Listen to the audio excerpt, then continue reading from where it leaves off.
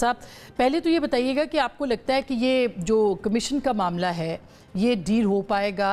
ये कमीशन पे आपकी राय क्या है? बतौर जमात आपकी राय क्या है? बतौर लीडर आपकी राय क्या है इस मामले के ऊपर?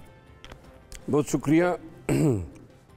छः मौजूद जज साहिबान की तरफ़ से ये ख़त पाकिस्तान की आइनी कानूनी और अदालती तारीख़ में अपनी एक, अपनी मिसाल एक आप हैं। ये एक तारीख़ रकम हुई है कि एक ही हाई कोर्ट के छः जज मुश्तरक तौर पर सेम व्यूज़ शेयर कर रहे हैं और इस ख़त में तीन चार चीज़ें हैं।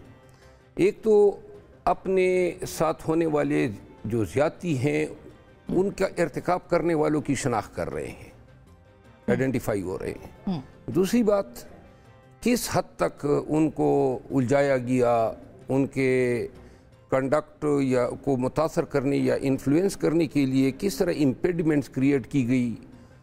बैनुई अगवा हुआ कैमरे लगाए गए वगैरह वगैरह। और बहुत सारी चीज़ों का ज़िक्र इसमें नहीं भी हुआ है लेकिन हवाले दिए गए हैं कि माता के माता जज साहिबान पे क्या गुजरी। है। तीसरी बात यह है कि इसमें इन्होंने ये भी इजहार किया है कि हम वक्ता फ़वक्ता साल डेढ़ साल से अपनी मुश्किल का ज़िक्र chief justice Islamabad high court chief justice supreme court और मौजूदा चीफ जस्टिस जो उस वक्त सीनियर प्यूनी जज थे उनके नोटिस में हम ये लाते रहे हैं। और जो सबसे अहम बात इस लेटर में है वो ये है कि ये सारे छः जज सर्विंग जजेस हैं कॉन्स्टिट्यूशनल कोर्ट के जजेस हैं और इनका बुनियादी काम पाकिस्तानियों के बुनियादी हकूक़ का तहफ़ करना है। ये अपने बुनियादी हकूक़ के तहफ़ का रोना रो रहे हैं सुप्रीम कोर्ट या सुप्रीम जुडिशल कौंसिल के सामने। ठीक बात है। अब जो तारड़ साहब ने कहा है कि हम यक रुकनी रिटायर्ड जज पर मुश्तमिल इंक्वायरी कमीशन बनाएँगे। जी हाँ जी ये जो इल्ज़ाम हैं और इस लेटर में तीन दफ़ा ज़िक्र भी हुआ है इल्ज़ाम हैं एग्जेक्टिव के ख़िलाफ़। और ऑब्वियसली एग्जेक्टिव ब्रांच ही ये सारा काम कर रही है। इन जज साहब। अच्छा इसमें मरवत साहब जो एक इल्ज़ाम है वो 2023 की फरवरी में जब उनको वो कहते हैं घर बदला जज साहब ने तो उनको वो कैमरे नज़र आए। इसका मतलब ये है कि वो कैमरे पुराने लगे होंगे जिसका इशारा आज आज़म नज़ीर तारड़ साहब ने दिया कि पिछले रजीम के अंदर वो इंस्टॉलेशन हो सकती हैं या इंस्टॉलमेंट सॉरी हो सकती हैं। तो ये मामला उधर भी जाता दिखाई दे रहा है और मुझे जज साहब का भी मेरे मेरे सवाल मुकम्मल हो जाए। जो पिछला था मामला उसके अंदर आपने देखा कि शौकत अज़ीज़ सिद्दीकी साहब का उस वक्त के जनरल फैज़ का मामला ये एक सामने है सबके। तो क्या ये सब जमाते यानी अगर पीएमएलएन आज कह रही है गलत है तो कल आप कह रहे थे कि गलत इल्ज़ाम हैं जो कि जज साहिबान लगा रहे हैं।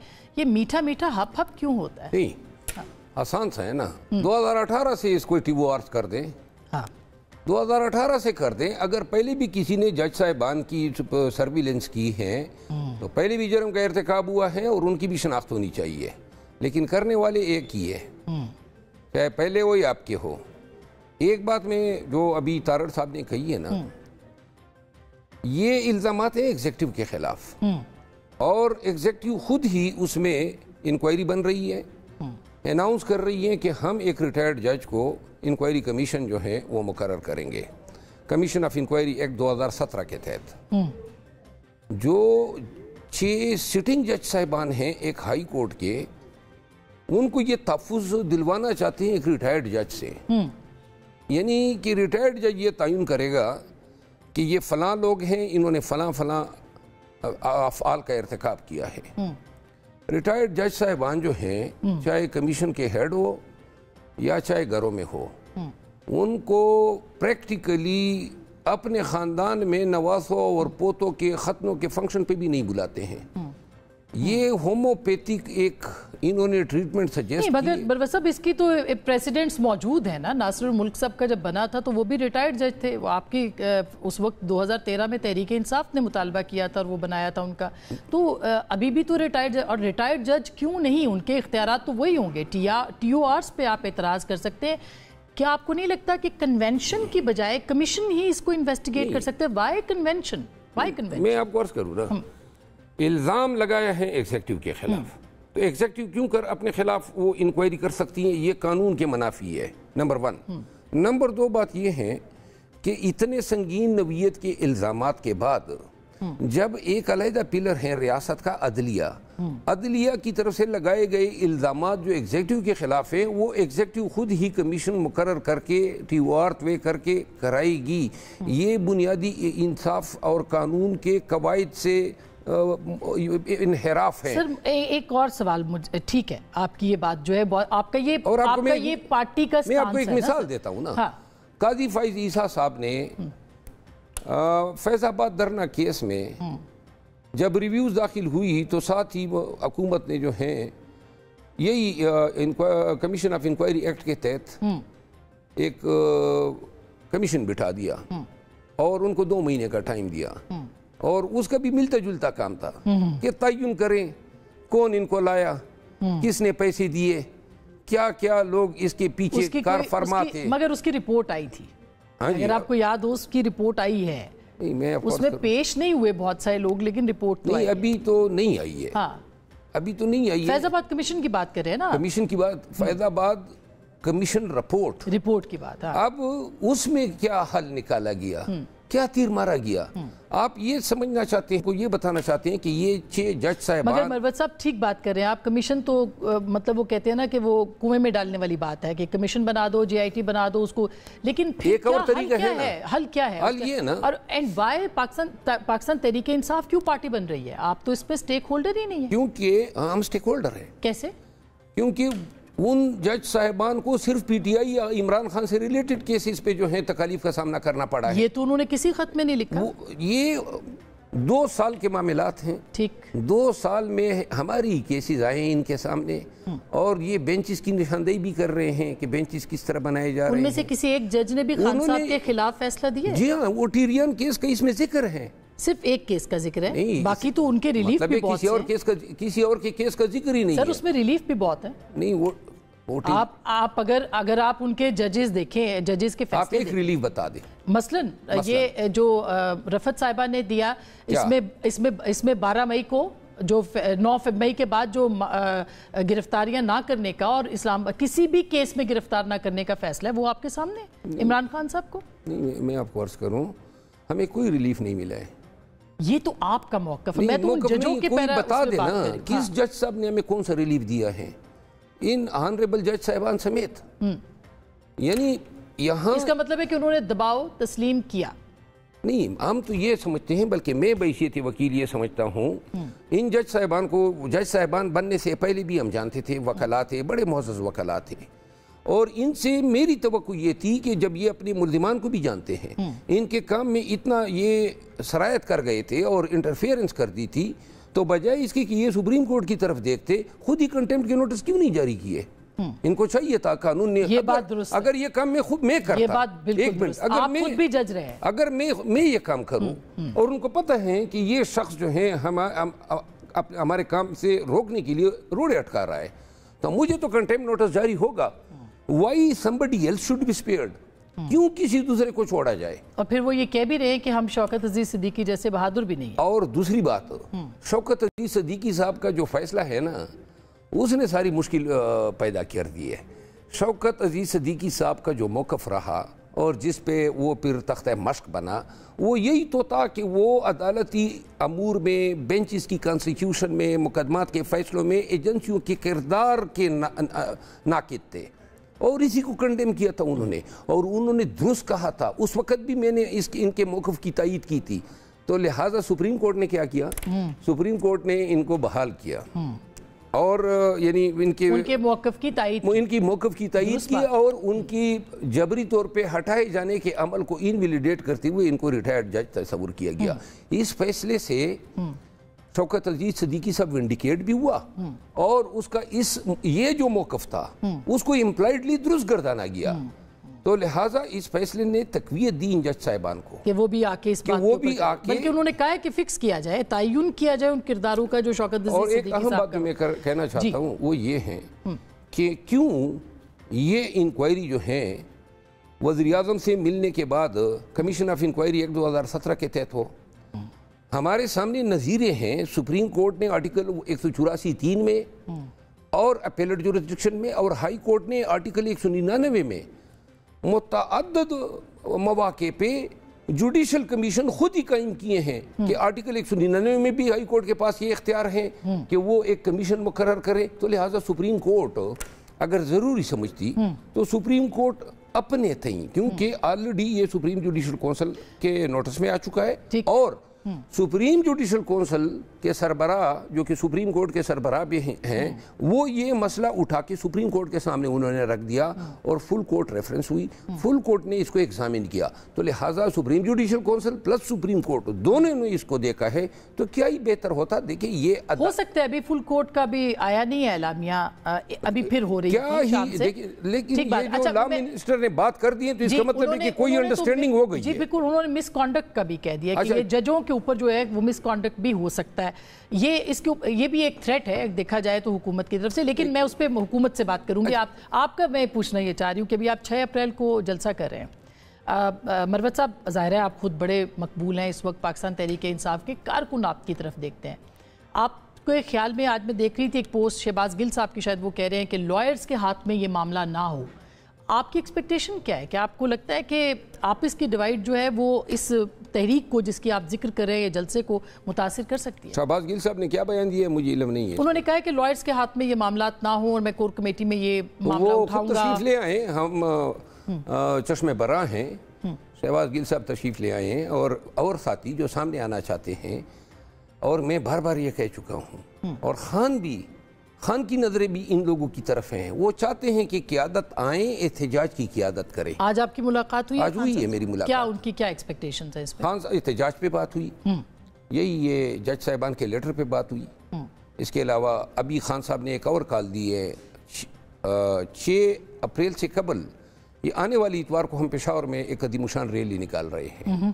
और ये कैदी 804 और ये जज साहबान के साथ यकजीती के तौर पे। ये जजेस के मामले पे उन्होंने आपको कुछ हाँ, कहा है? क्या कहा है उन्होंने इस मामले के जज साहबान के मामले पे वो कह रहे थे कि जिस तरह कमिश्नर पिंडी का वाक़ हुआ हम्म। और वो नाकिद थे हमारे किरदार के। वो समझते हैं कि पाकिस्तान तहरीक इंसाफ ने कमिश्नर राहुल पिंडी के जो वो शरबा इनकशाफात थे उनका पीटीआई ने कोई सही इस्तेमाल नहीं किया। और वो टार्चर हो गया उनसे बयान तब्दील करवाया गया और पीटीआई कुछ नहीं कर सकी। और ये बात खान साहब की बिल्कुल दुरुस्त है। हमने वो मौका सही किया। कौन जिम्मेदार है इसका? मखसूस नशस्तों का मसला हो बल्ले के चिन्ने का मसला हो तकनीकी प्रॉब्लम्स हो लीगल लीगल इशूज़ हों कौन जिम्मेदार है आपके ख्याल में इस वक्त? बहुत सारी चीज़ें जो हैं ज़िम्मेदारी के ज़ुमरे में आती है। अब दूसरी बात जो सब तयन कौन करेगा? कि जिम्मेदार आपकी पार्टी को नुकसान हुआ है सर। आपके इतने मखसूस नशस्तें आपके हाथ से गई उसका सेनेट के ऊपर असर पड़ा है। कोई तो जिम्मेदार होगा ना। तो ये ज़िम्मेदारी मुझसे तयन करवाएँगे तो वही सिलसिला दोबारा शुरू होगा जो अभी फ़िलहाल कुछ रुक गया है। कि जी आ, वो तो आपने रोका है ना। नहीं मैं आप खान साहब को फिर भी आज भी बड़ी डिबेट हुई खान साहब के साथ। ये जो जज साहबान का ये लेटर हैं खान साहब ये समझते हैं कि ये अपनी नवीयत का अपना अपनी मिसाल एक अनोखा अनप्रेसिडेंटेड है जिसमें और पाकिस्तान की वाकई हिस्ट्री में इस तरह कभी नहीं हुआ है। दूसरी बात यह है कि इस लेटर को एलिमेंट ऑफ़ ट्रुथ इसके साथ अटैच है। क्योंकि एक तरफ़ तो हमारे बयानी को इंडिकेट कर रहा है दूसरी तरफ़ हर एक चीज़ के हवाले से डॉक्यूमेंट्री एविडेंस का हवाला दिया जाता है। फलां पे ये कहा गया फलां पे ये लेटर लिखा गया फलां जज साहब के साथ ये हुआ फलां का ये अगवा हुआ फलां बे, के बेटे की वलीमे से रोका गया। ये तमाम वाक़ात कोई किसी वकील के साथ नहीं हुए हैं किसी सियासतदान के साथ, के नहीं हुए हैं। बल्कि जजिस के साथ हुए हैं। हम्म। और जजिस भी कौन? हाई कोर्ट के जजिस हैं और फिर डिस्ट्रिक्ट जुडिशरी के जज साहिबान हैं। और जिन हालात में हम कह रहे हैं कि सारी चीज़ें मेनेवर हैं जिस तरह इलेक्शन चोरी हुआ। और अब जहाँ पे डिस्ट्रिक्ट जुडिशरी के जज साहिबान जो हैं वो यक के बाद दीगर तीन केसेस में खान साहब को मेनेवर करके सजाएँ दिलवाई गई जज साहिबान के ज़रिए। जब वो न टिक सके इस प्रेशर के आगे तो ये एसी और डिप्टी कमिश्नर से ये तो रखना कि ये टिक जाते और ये फार्म फोर्टी सेवन जेली नक, ये सारी चीज़ों को पूरे ब्रॉड स्पेक्ट्रम में देखें तो ये बता रहा है। मैं आपको एक और मिसाल दूँ। एक केस मैंने अर्गू किया शाहरियार अफरीदी का। शाहरियार अफरीदी पे तीन एमपीओ लगता है, जलम की डीसी डीसी से, फिर पिंडी की डीसी से, फिर इस्लामाबाद की डीसी से, फिर कुआट की डीसी से। तो बाबर सत्तार साहब के पास ये केस था।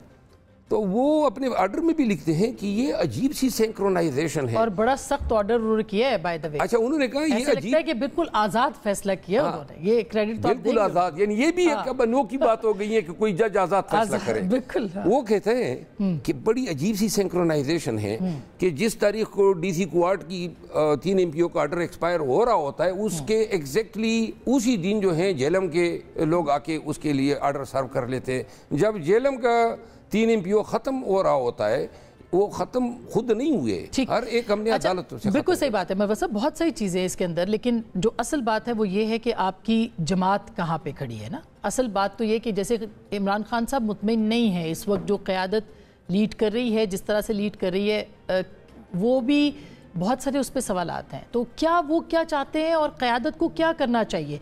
मसलन आपका वज़ीर आला है अब उसकी मजबूरी है उसने मिलना है ना है ना? उसने तो बात करनी है उसने कारोबार रियासत भी चलाना है। क्या उसके ऊपर ये प्रेशर डालना कि वो किसी के साथ ना मिले किसी के साथ गले ना मिले फ़ोटो सेशन ना करवाए ये दुरुस्त प्रेशर है आपके ख्याल में? ये पॉलिटिकल प्रेशर मैं ज़ाती तौर पर तो समझता हूँ कि इस तरह भी ना हो कि बिल्कुल जो है आप ये समझें कि वो मुखालिफ को आप अछूत समझना शुरू करें। वज़ीर अला की अपनी मजबूरियाँ हैं गवर्नेंस के हवाले से सूबे के हवाले से। खान साहब को भी इन चीज़ों का इदराक हुआ। अ, और हमने उनको बताया कि ये ये मसाइल थे और उनको बहरहाल खान साहब जो हैं वो ये समझते हैं। हमें दो साल में मैं आपको हानेस्टली बता दूँ दो साल में रियासत ने हमें खूब रगड़ा दिया है। कोई अखलाकियात आपने भी तो रियासत को रगड़ा दिया है। मैं दो साल की बात कर रहा हूँ। मैं वैसे बात कर रही हूँ। मसलन आप बताएँ मतलब आई मीन कि आपकी जमात की तरफ़ से रगड़ा थोड़ा नौ मई थोड़ा बड़ा रगड़ा था नौ मई का इल्ज़ाम आपकी जमात पे लगता है जी नौ? मई का तो बहुत बड़ा रगड़ा है ना। यही तो मैं अर्ज़ कर रहा हूँ। सबसे बड़ा रगड़ा ही नौ मई का है। आप हंस रही है।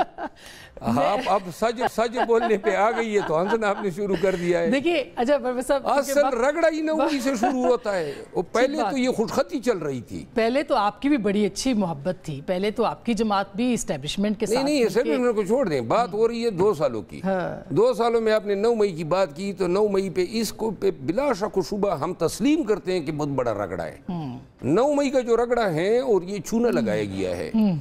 वो एक ये इसराइली जो है ना जी। ये जब फलस्तीनियों के खिलाफ दहशत गर्दी करते हैं ना ठीक। तो वो जनाब अली जाके उनको मारते भी हैं दहशत गर्दी भी करते हैं और फिर उसी केस में उन्हीं फलस्तीनियों को पकड़ भी लेते हैं। इसको ये- ये- इसको ये- ये- इसको जर्नलिज्म की जबान अच्छा, में एक मिनट नहीं ये बात खत्म। इसको जर्नलिज्म की जबान में जी। ब्लैक स्वान इवेंट कहते हैं। ठीक बात है। हमारे साथ नौ मई को ब्लैक स्वान इवेंट मैं लास्ट क्वेश्चन आपसे पूछना चाहती हूँ। खान साहब अभी भी इस्टेब्लिशमेंट से बात करना चाहते हैं सियासतदानों से बात नहीं करना चाहते। खान बिल्कुल नहीं बात करना चाहते। किसी से भी नहीं। किसी से भी नहीं। वो खान अवध करना चाहते हैं। वो ये समझते हैं कि पाकिस्तान के अवाम ने सदी का एक इनकलाब आठ फरवरी को मुतारफ़ कराया। और वो ये समझते हैं कि अगर अवाम जो हैं लाखों नहीं बल्कि करोड़ों की तादाद में। निकलेंगे अपने मैंडेट की रिकवरी के लिए। और मैं आपके प्रोग्राम के तवसत से बता दूँ जल्द या बदीर ये कौम निकलेगी हर शहर हर गाँव हर टाउन में। और सड़कें जो हैं वो लोगों से भरी होंगी। एहतजाज होगा। उस एहतजाज में या इन्होंने कौम का मैंडेट वापस करना है। ठीक। वरना जब तक मैंडेट वापस नहीं होगा तब तक पाकिस्तान में निज़ाम ज़िंदगी मुअत्तल रहे।